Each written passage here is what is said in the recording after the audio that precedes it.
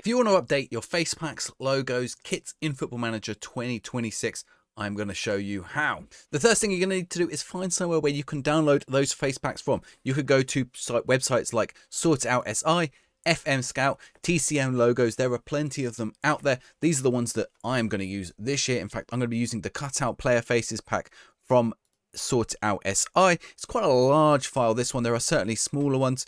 You could go to FM Scout, they have a whole load as well. And TCM Logos has all the logos for all the teams and competitions. Once you've found the file that you want, you're going to want to download it. So in this case, I'm going to come down here and click the download button. Be careful what download buttons you click. Make sure you find the right one and it's not some dodgy advert. Once you've done that, you're going to want to come into the download folder on your computer, find the pack that you're looking for, right click on it, and then you are going to choose to extract all. You can extract it into the folder right there in the downloads, or you can move it to the folder I'm going to show you in a second. But you want to extract the whole file there, and it's going to put all those logos in the one folder for you. Once you've done that, you're going to want to copy or cut that folder and you want to go want to go and paste it over in your football manager 2026 folder so you're going to look for your sports interactive folder in your documents and then you're going to come down to fm26 and then if it doesn't exist already, you're going to right click, you're going to create new folder and you're going to call it graphics. If it does already exist, you're going to go ahead, you're going to create a folder called faces or logos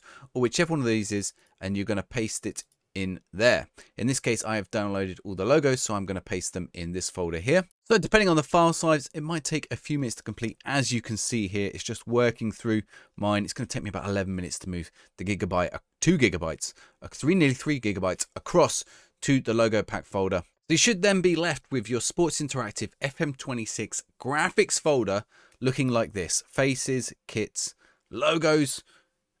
That should be all you need. Maybe if you want to add something else like backgrounds, you can try those out. I, we don't know if they work in this year's game yet. All you got to do then is go ahead and load up the game. So you'll see now I'm in the game. If I come look at some of the clubs that are not normally licensed, wouldn't normally have the badges.